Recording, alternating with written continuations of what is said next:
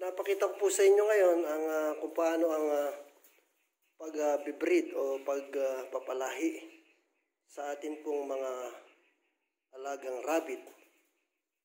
At ah, usually po, ginagawa po ito para sa mas magandang ah, result ay sa umaga po. Tulad po ngayon ay nasa alas 6.30 po ng umaga dahil lang sinasabi po ng mga eksperto na mas ah, aktibo daw o ah, malakas ang ah, semilya ng ating ah, breeder na mga rabbit pagka ganito pong malamig ang ah, panahon. At ang ah, magiging resulta po niyan ay ah, malaki po ang chance na magiging ah, successful po ang ating pagpapakasta. Ayan po, gaya po ng nakikita nyo, uh, inuumpisahan na ng ating ah, lalaking rabbit ang ah, ang pagbibreed sa ating pong ah, babaeng ah, rabbit. Bali, first time po ngayon ang ah, ah, inahin natin ito na palahian. At ah, ngayon nga po ay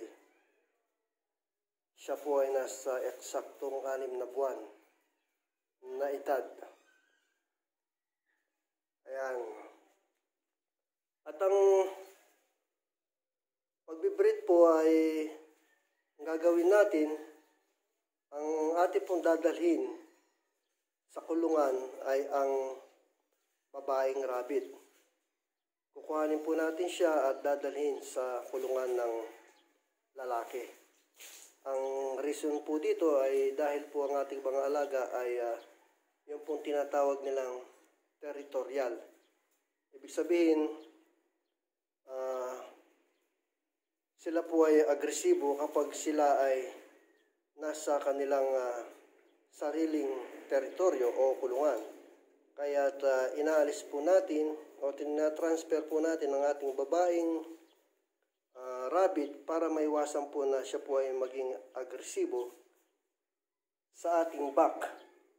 Dahil tulad nito, dahil hindi po niya to teritoryo, siya po ay uh, ay uh, tahimik lamang at uh, nakaupo.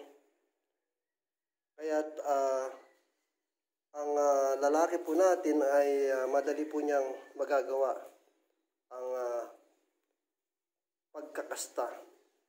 Pero kung ang gagawin po natin ay ang dadali natin ay ang lalaki sa kulungan ng babae, ang mangyayari po dyan ay uh, aawayin lamang ng ating babaeng kuneho ang ating pong lalaking kuneho. Yan po. At ang uh, bilang po ng ating uh, pagpapakasta, yan po ay uh, nasa tatlo.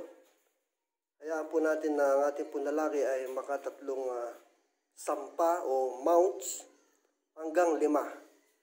Yan po ang mga ideal na bilang para maging successful po ang ating gagawing pagbibreed. Ayan po, sana nakatulong po sa inyo kung paano ang uh, pagprepare o pagbibreed sa ating pong mga alagang rabbit. Maraming salamat po.